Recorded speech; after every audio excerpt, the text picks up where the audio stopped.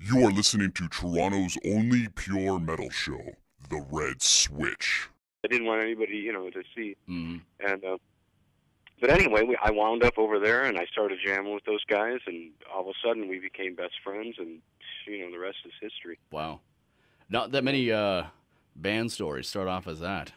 Threw a couple of joints at me, and then from there on in, we were selling records. well, I mean, you know, we were young kids. you Yeah. know. It Well- wasn't like we the the things that happened later. It was twenty years later that stuff happened. Yeah. Well, Chris, music has been a major part of your your entire life for a very long, long time. If you weren't or could not play guitar, what would you see yourself realistically doing? Oh, if I didn't play guitar, Yeah.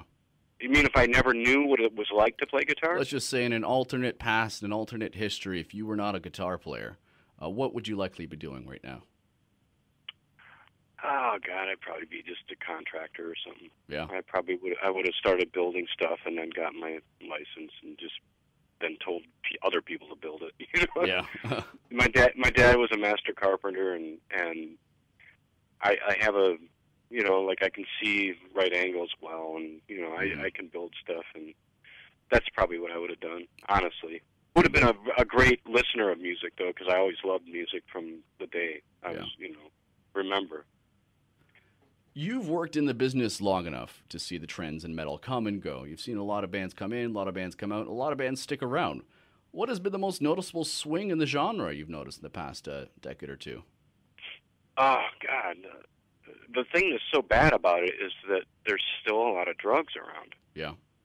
and and and that um and that there's something about that there's something about music and trying to uh get past you know your own obstacles that you think you need you know something to get you past it and and I and I think it's just something that may never ever end hmm you know. But um, I was I was really saddened to hear about the Slipknot uh, uh, member that Yeah. that passed away, and and it just you know I was so surprised because I thought you know I thought everybody already figured that out already, but I don't think that's ever going to happen. No. As long as they're there, That- that's always that's going a, to be a that's a trend that I, I, I that's a trend I wish would end.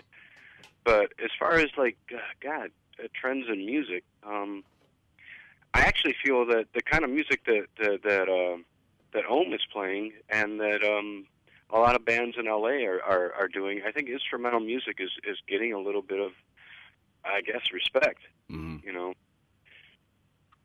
And I and I just um, I know I'm optimistic, you know, because a lot of people don't think the same way I do. But Yeah. I you know I'll, I'll play for ten bucks. I'll play for a thousand bucks. I don't care, and I'll play if there's five people or five thousand people, and I'll play as good both times. So hmm at least as good as I can at that moment, you know. So for me, it's just something I got to do anyway. So it doesn't matter. Yeah. Have you guys ever played with the idea of bringing in a permanent vocalist? You know, um, actually, Robertino is a great vocalist. Yeah. But he's not a lyricist. And I had a great lyricist in Dave Clemmons in, in Damn the Machine, hmm but not the best vocalist. Uh, A- And I wish I would have like known, um,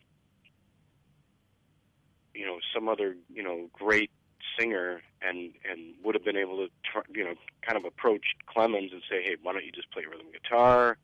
You write the tunes, the the melodies, and the lyrics, and we'll have somebody that can sing it. Sing it. You know, Mhm. it's like, yeah. but that didn't happen. Uh, But as far as our band goes, yeah, we're too much wrapped up in what what's going we on right all- now? Yeah, well, we were consumed by this kind of music, at, you know, as young guys. So Yeah. it's like, you know, it's all about instrumental stuff for us. It always has been. Weather Report, you know, when I heard Jeff Beck's uh, the Orange album, it was the two instrumental tracks that were my favorite songs, Oh. and it was just always led me down that road. And I heard Blow by Blow, and then that's it. I never even looked back. You know, I, I joined Megadeth because you know Gar joined Megadeth. Yeah. And and he said, hey, why don't you join this band? They need you. And I said, okay. There, there's a long list of music and albums and compilations behind your name already. Is there anything on deck for the coming months uh, or year with uh, with Ohm or possibly anything else? Well, actually, I was talking to uh, Robertino today, and I said maybe it's time to make a record, whether that's live here in a club in LA or you know in our studio where we've made you know a couple, two or three of our records. So hmm um, I, I kind of almost want to do a live record at the Baked Potato because that's our those are our uh, that's where we experiment with music in front of people, and we have an audience that, that enjoys us in, in in this area at the LA area. So, and then Bob Bradshaw does great recordings, and he's got you know he's got a couple ten thousand dollar stereo mics, and hmm You know, Nice. he, he, when he records, it basically sounds like you're sitting there, and that in itself is pretty amazing. Yeah. And uh, we're all, you know, I almost want to just say, Bob, let's just like, let's do three dates, and we'll just pick the best songs from those shows and release it. You know. Well, actually, we did um we did the KPFK uh, CD.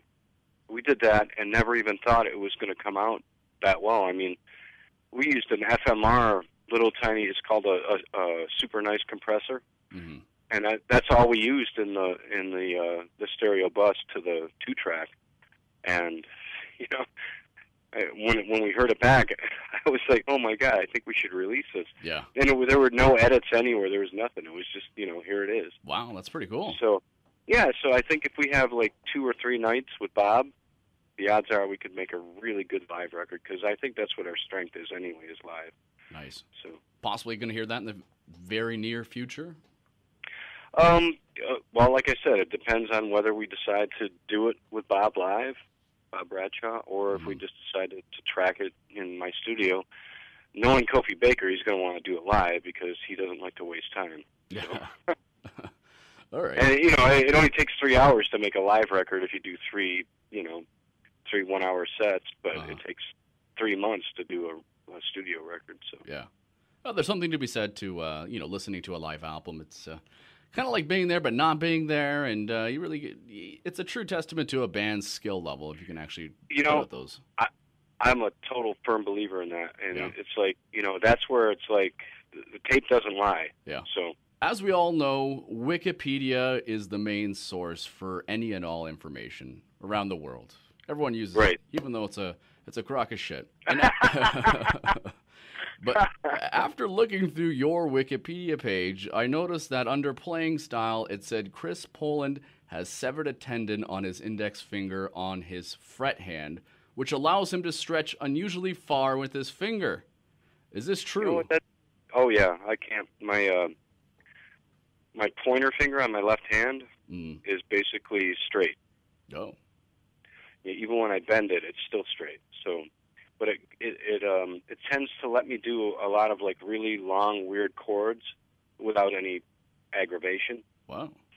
But I also can't play any great acoustic Led Zeppelin songs because I can't bend my um my pointer finger, and that bums me out. But Oh. Have you ever you thought know, about like if fixing well, it? or- no, if I if I, if I try, oh, there's no fixing it. Yeah. Yeah, there's no going in there and trying to fix that because they they told me if I tried to fix it, it might not even move. So. Oh, that's not good. But you know, I've always tried to play like Black Mountain, and I know what the all that stuff is. But a lot of times, I can't bend that finger to do it in the same position, so I just let it go. Uh, well, you know what? It's, it's got its. I guess it's uh, it's uh, pros and its cons. But I look. It sounds like, to the extent of your career right now, it's served you well so far. Uh, no, I actually want to tell you that I, I mean, uh, I have a really great friend in Bob Robles. He's a guitar player out here in Los Angeles. Yeah. Uh, he's done stuff with Jackson Browne and and um, Alphonso Johnson and and all, so many other people. It's like, but anyway, he one day he told me he goes, you know, I don't think if if you hadn't cut your hand, you wouldn't play the way you do, and you wouldn't have adapted a style that every time when I hear you play, I know it's you. Yeah. And I was like, wow. I mean, and as far as I was, I was just like, oh my god, that's the biggest compliment I've ever heard from anybody. Yeah. And and um, my manager was the second guy that told me that. He said, I always know when it's you. That's And like your like- your signature there. Yeah, so it's like, okay, yeah, you can manage me. Yeah. sure. Why not?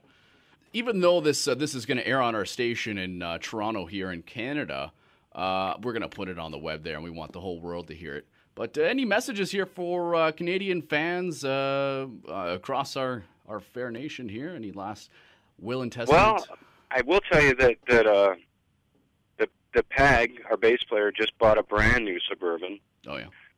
so you know the other one had 250, 275,000